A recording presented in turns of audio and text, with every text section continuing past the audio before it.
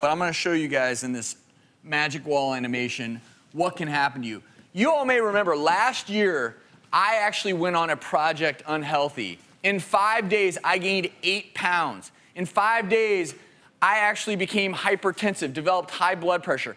I don't even want to know what was going on inside my body. America, listen up. This is what you're doing to yourself. I did it for five days. I felt miserable. I gained weight. I put my body in jeopardy, and it wasn't worth it. And you know what? I'm never going to do it again. Why did I do it? To prove a point. When you eat these foods, it causes an addictive pattern in your mind. But in the end, all you end up is overweight, lethargic, and not feeling good about yourself. This is me. So, what happened when I ate a fast food meal? Well, something very simple. The contents enter your stomach, and I'm gonna circle some of these contents that I call some of the killer contents of food. Sodium. These are fat molecules, these are refined sugar molecules. No big deal, right? Well, it is a big deal because when they hit your stomach, good things start happening, believe it or not. That's that dopamine release in your brain because dopamine and serotonin are going wild. You feel great. Oh my gosh, this tastes wonderful. It does, right? For the first few minutes. But things are also going on inside your body that aren't so great. Your pancreas is secreting more and more insulin to deal with that massive sugar overload from the fries, from the white bun, from the soda.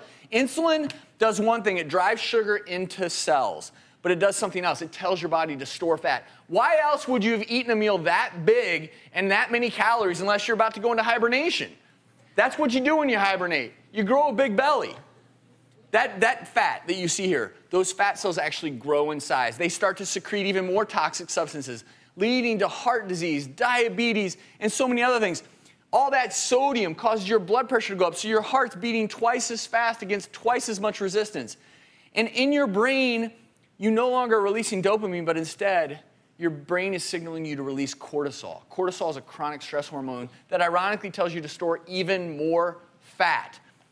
And last, but certainly not least, what isn't going on in my brain right now? I'm 30 minutes after my meal. There's no more dopamine, there's no more serotonin. I'm lethargic, I feel unhappy, I don't feel good about myself. And that is why when you first eat a fast food meal, you feel great, and 30 minutes mm-hmm. later, you feel terrible. Oh, yeah. Kim. yes. After everything you have heard here today, would you be willing to try to make some changes? Yes.